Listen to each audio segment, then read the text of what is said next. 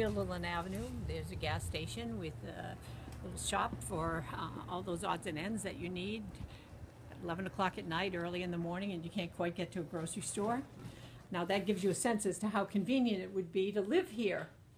976 Vischer Avenue. Here's the front porch, so you can imagine in warmer months having meals and sitting down and watching what's going on in the neighborhood. If you lived here and you had kids, they would go to Mohonasen schools. The house is shy of a thousand square feet, hardwood floors, gas hot water heat, three bedrooms, one of them being right there. And as I walk through, really the rooms don't merit any more description than what you see. It's a bungalow.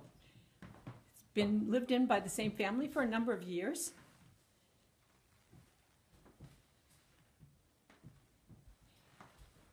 Has a full basement, nice and dry.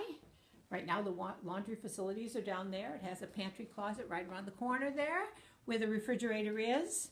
Look at that, straight back and a practical mudroom. Actually, it's an enclosed porch. Let's go take a look at that right now.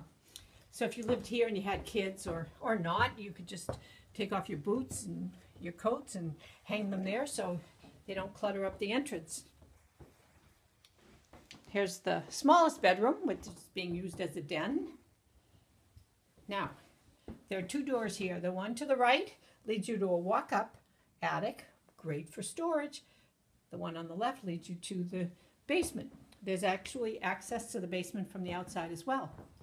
So three bedrooms, modern bath, gas hot water heat, all on one floor, great place to start, or maybe it's your last place. But if this looks like something that might be interesting to you, give me a call. Patsy Whitney, Coldwell Banker, 229 0262, 976 Vischer Avenue, Rotterdam, New York, 12306.